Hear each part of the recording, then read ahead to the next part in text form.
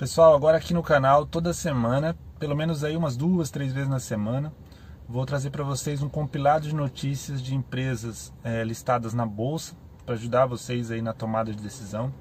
É claro que não é nenhum tipo de recomendação de compra ou venda, mas acredito que pode ajudar aí na hora de entender um fundamento ou então é, o que está acontecendo com, a, com as empresas com base no que é noticiado aí nos jornais e também em alguns aplicativos que ajudam a gente é, a tomar decisão na bolsa. Também no ouro e pares de moedas do Forex, tá?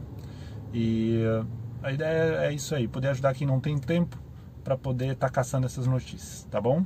Então já vou mandar aí algumas para vocês de ontem, dia 9 de outubro de 2020. Valeu!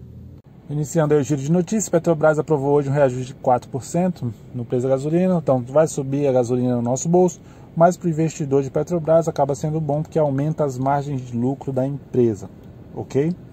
Vamos para a próxima, é a Gol. A Gol está bem posicionada e pode ganhar mercado. Então a Gol pode abocanhar uma parte do mercado que hoje ela não tem.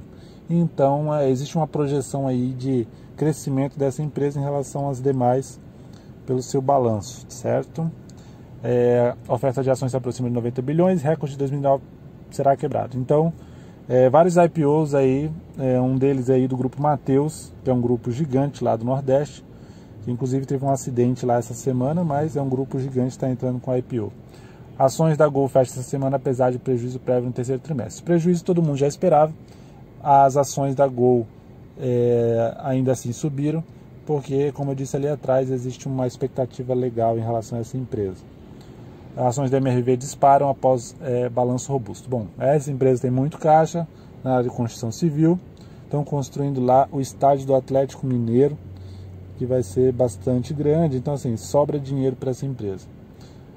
Ações de mineradora criada por AIC sobem 810% na semana. Eu entrei nessa ação já no meio do caminho, com um pouco capital, é lógico, para ver o que, que acontece. Né? Vai que ela alavanca aí bastante e o meu risco retorno acaba sendo interessante uh, Oi quer cortar até 15% da folha de pessoal. Isso é legal porque deixa a empresa mais enxuta e a ideia da Gol é fazer um crescimento no médio prazo e para isso tem que fazer iniciativas como essa. Beleza, pessoal? Valeu!